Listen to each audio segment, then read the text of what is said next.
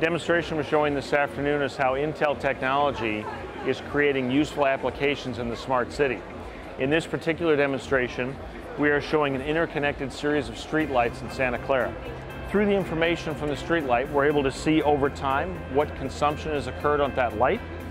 We can also look at, based on traffic patterns and other sensor information, what type of dimming controls that we should use or advise the customer to use to save energy. We can also take that same information and integrate it into a mapping application where we can show all the street lights in a given area and what their current service status is. And in this case, we have a plot of lights. All of them are green except one, so that one could be failing. So let's go take a look at that specific light. In here, what we're showing is we know the light detail, we know its location, light bulb type, when it was last serviced. Based on this information, we can now schedule a service with our technicians. So we'll go ahead and do that. We know, again, by APIs that we have the technicians available. Uh, he is on duty. We know the inventory on his truck. So we can now go ahead and schedule that service. And in this case, we're going to send him an SMS text message to this phone right here. The message was sent, and in about 10 seconds, the message will be delivered to this device right here. And there it is. So that is our API service creation platform in an industrial lighting scenario. Thank you very much. My name is Mark Kelly and I'm here to talk about our IoT Living Labs. Our IoT Living Labs, as demonstrated here, are comprised of three main uh, areas.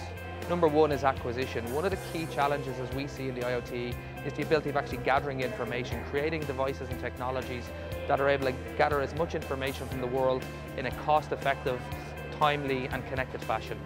And in particular, we're here to demonstrate the use of Quark-based technologies and prototypes live in the field.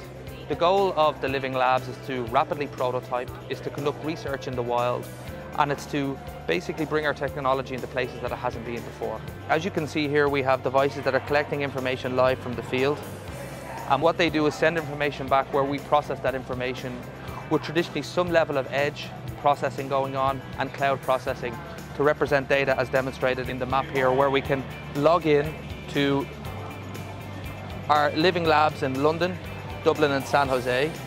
And what we can actually do is log in and see, for instance, an example, one of our demonstrating projects in Hyde Park, where our, our live sensor nodes are sending us back and streaming to us data live.